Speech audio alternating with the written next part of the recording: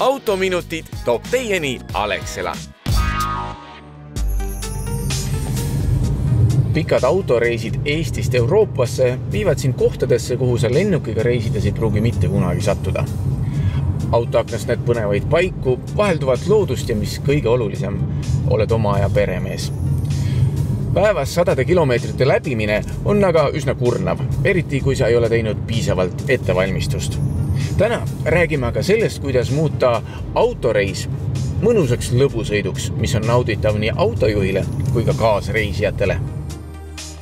töötervishoiuarst Evelin Aaviksoo teab täpselt, mitu tundi on mõistlik ühes päevas autoroolis olla ja kuidas end puhkepausidel värskena hoida mitu läbitud kilomeetrit või sõidutundi ühes päevas on inimese kohta normaalne?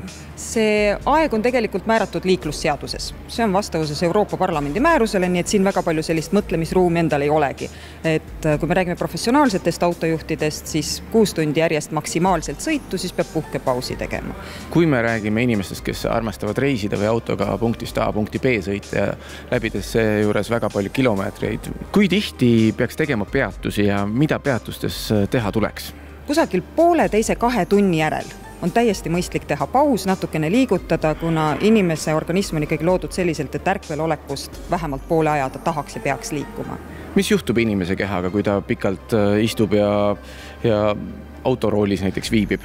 seda on äh, pikamaasõidu autojuhtidel ka päris palju uuritud. kõige tüüpilisem on see, et kuna nad istuvad üsna staatilises asendis ja nad ei ole ka täiesti sellises lõtvunud asendis, vaid mingisugune pinge on sees, siis see tähendab seda, et lihastes tegelikult ainevahetus muutub aeglaseks, verevarustus muutub aeglaseks ja lihased hakkavad aastatega lühenema sõna otseses mõttes. ehk et nad fikseeruvadki lühemaks ja mis on nende lühenenud lihaste probleem, on see, et nad hakkavad nagu nöörid igalt poolt keha telge kõveraks tõmbama või keha raskuskeset muutma ja sellega ta tegelikult oluliselt halvendab liigeste seisundit, lihaste enda seisundit. nii et ähm, suhteliselt selline negatiivne tagajärg. milliseid harjutusi tuleks teha puhkepeatust tehes? ikka venitamine, siis äh, tasakaaluharjutused, et kasvõi Youtube'ist üks nädal üks video aluseks võtta, teine nädal teine video aluseks võtta ja, ja kõik need kehapiirkonnad lihtsalt läbi venitada, et venitamistreening ongi kõige-kõige parem. näiteks üks ülihea harjutus autojuhile, kontoritöötajale, ükskõik kellele, et võtad kahe käega uksepiidast kinni ja siis äh, lihtsalt lased kehal ette vajuda, venitad niimoodi üks kolmkümmend sekundit, siis lõõgastud, siis teed jälle seda siis äh, lihtsalt sirutad näiteks käed hästi kõrgele, nii et üritad kogu keha sirutada ja siis lased ennast alla rippu, et äh, siis jällegi teistpidi lõõgastuda. kui palju peaks tarbima ja kas peaks üldse tarbima autosõidu ajal vedelikku? miinimum kaheksa klaasi päevas, noh ja mis ta jaguneb siis üks-kaks klaasi ühe-kahe tunni kohta, hästi mõistlik. väga paljud autojuhid armastavad äh, pimedal ajal või pikal distantsil tarbida kohvi, energiajooke, muid selliseid ergastavaid äh, aineid, et, et millist mõju need organismile avaldavad selle kohta ma võiks öelda, et, et kõige olulisem on selline mõõdukus, et just nimelt mingisugused ergastavad joogid, pigem mina soovitaks neid mitte tarbida, mõnikord võib ennast ju turgutada küll nendega, miks ka mitte.